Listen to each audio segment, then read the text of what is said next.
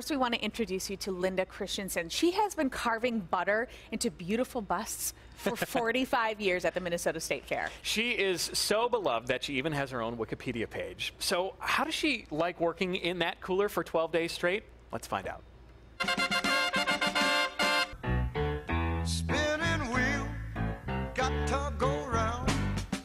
Hello. Okay, I don't know. This is like double dutch. How do you? Okay, we're in.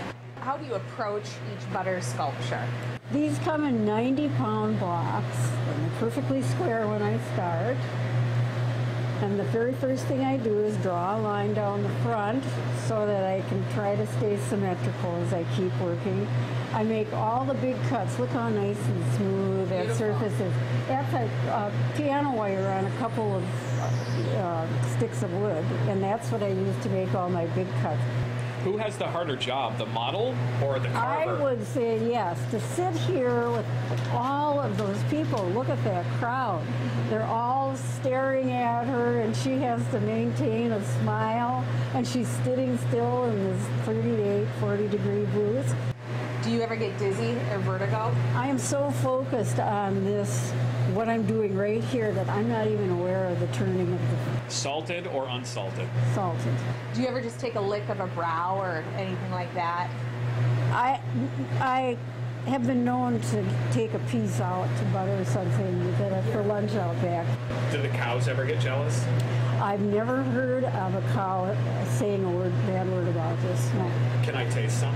Yes. Oh. Butter is like truly my favorite ingredient for anything. Oh, thank you. So, cheers. Cheers. Oh, it's great. That is very good. Painted pony, let the spinning wheel spin. Tom Jones must be so proud Yes. that his song was used in that story. But we're, we're proud of Linda. Yes, we are. And a couple more questions we had asked her, like, does she ever use the butter for moisture on her face? No. No. She does not.